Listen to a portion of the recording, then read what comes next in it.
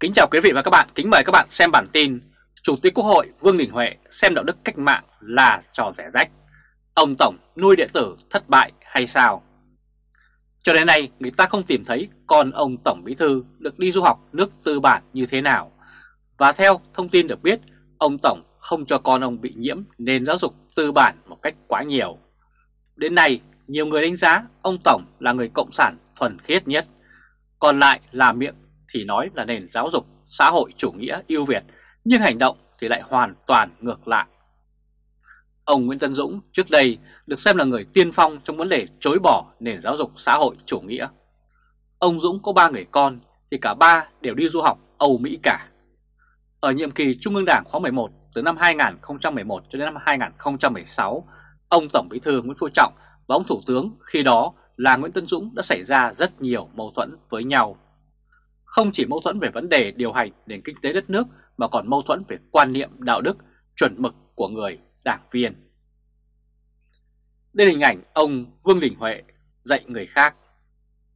Và việc ông Nguyễn Tân Dũng cho con cái đi du học Âu Mỹ là lúc đó đó là sự thách thức rất lớn đối với trưởng phái bảo thủ trong Đảng Cộng sản mà người đại diện chính là ông Tổng Bí Thư hiện nay Nguyễn Phú Trọng. Sự giả dối ấy bắt đầu và kết thúc không mấy tốt đẹp và ông Nguyễn Tân Dũng là đàn em của ông đã bị ông Tổng lần lượt cho vào lò. Ông Dũng thì bị loại khỏi Bộ Chính trị vì quá tuổi, nhưng ông Nguyễn Phú Trọng lớn tuổi hơn rất nhiều thì vẫn tại vị. Ngoài ra hàng loạt những đệ tử đàn em của Nguyễn Tân Dũng như Đinh La Thăng, Trần Bắc Hà vân vân đã phải nhận hậu quả nặng nề, thậm chí có người đã bị đột tử trong tù từ khi chiến thắng ông Dũng, ông Trọng mặc nhiên tự xem bản thân ông là bậc trưởng lão trong đảng. Vừa có quyền, vừa có uy dạy dỗ toàn đảng, toàn dân là phải giữ gìn đạo đức cách mạng.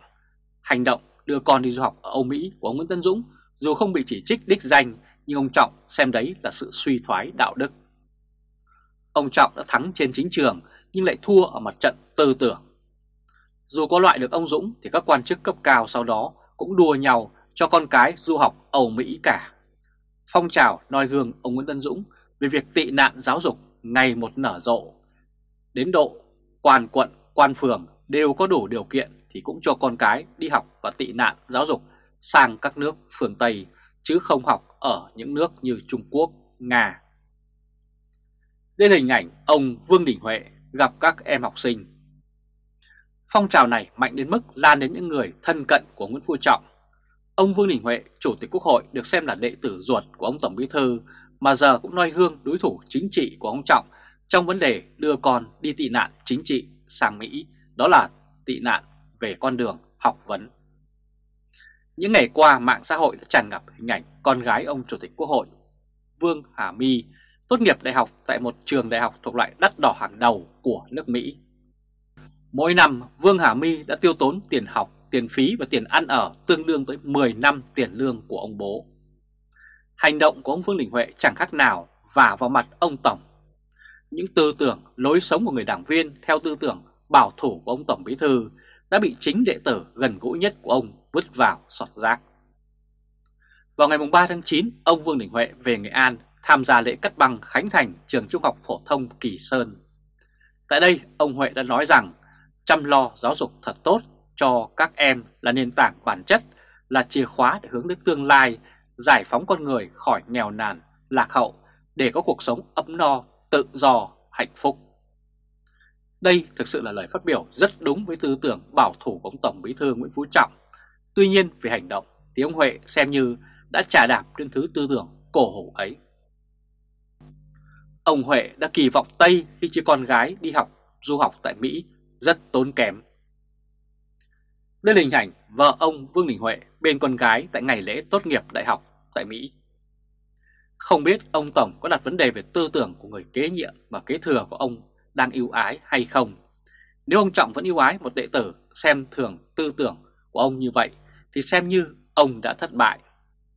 Chọn người kế thừa đã biến chất theo cách nghĩ của ông.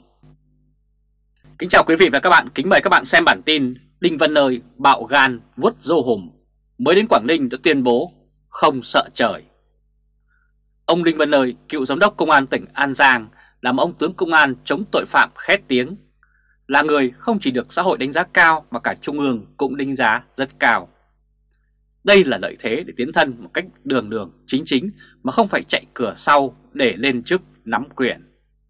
Tuy nhiên, theo bài bình luận trước đây của tờ Thời báo chấm thì Đinh Văn Nơi đánh vào tội phạm là thường dân.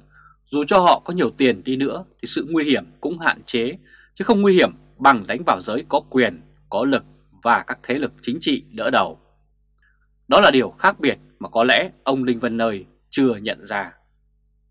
Với việc khởi tố vụ án gần lần thứ hai đối với bà Nguyễn Thị Thanh Nhàn do có liên quan đến tiêu cực của Bệnh viện Nhi Quảng Ninh trong thời gian ông Phạm Minh Chính làm bí thư tỉnh ủy ở đây. Nhiều người thạo tin đã ngửi cái mùi đánh án nhắm vào những gốc rễ thời ông Thủ tướng làm bí thư. Cách đánh án này rất quen thuộc đối với ông Tổng. Ông thường nhắm vào những sai phạm nhỏ nhặt, nhưng thực chất là ông đang hướng đến sai phạm lớn hơn.